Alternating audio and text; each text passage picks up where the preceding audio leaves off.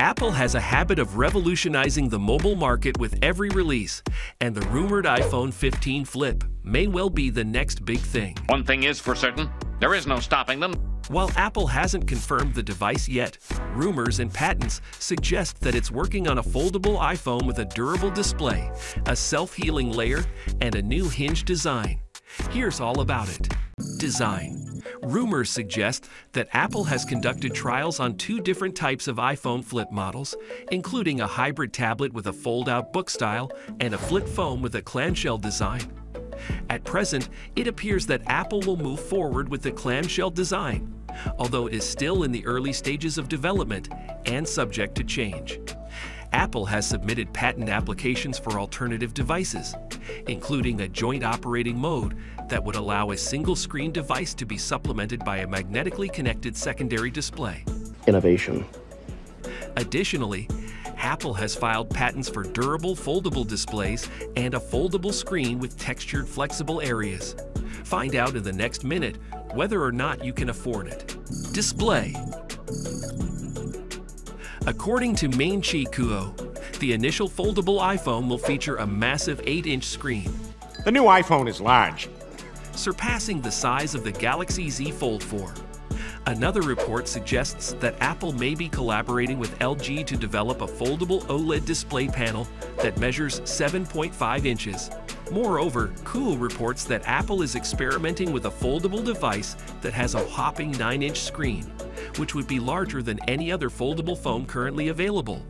Additionally, Apple is considering using Color e-ink displays for the external display on their foldables, which would help conserve battery power. If you don't want to miss out on any juicy news or exciting insights about the upcoming iPhone Flip 15, hit that subscribe button on our channel today. We'll keep you in the loop until the very moment it's released. That's what we're here for. Price. Apple's patents suggest that the company is exploring multiple form factors. The Galaxy Fold debuted for $1,980 with a 7.3-inch tablet-like display when unfolded and a tiny 4.6-inch panel on the outside. The Galaxy Z Flip 4 was released with a more vertically proportioned 6.7-inch screen coated in ultra-thin glass for better durability, costing $600 less. If Apple opts for a smaller and cheaper foldable, the price may not be a far cry from premium handsets like the $1,099 iPhone 14 Pro Max. However, if the iPhone Flip is intended as a phone that can become a tablet, like the Galaxy Z Fold 4, it could cost over $2,000. Too expensive. Expected launch date. The release date for the iPhone Flip is uncertain, and there are conflicting reports about when it will be introduced. Display expert Ross Young predicts that Apple might launch a foldable iPhone in 2023 or possibly 2024, while Ming Chi Kuo's report suggests that it may not be available until 2025. Therefore, it is impossible to determine with certainty if or when the iPhone Flip will be released. The rumors surrounding the iPhone Flip have generated considerable excitement in the smartphone industry. Whether or not Apple releases an iPhone Flip remains to be seen, but one thing is for sure.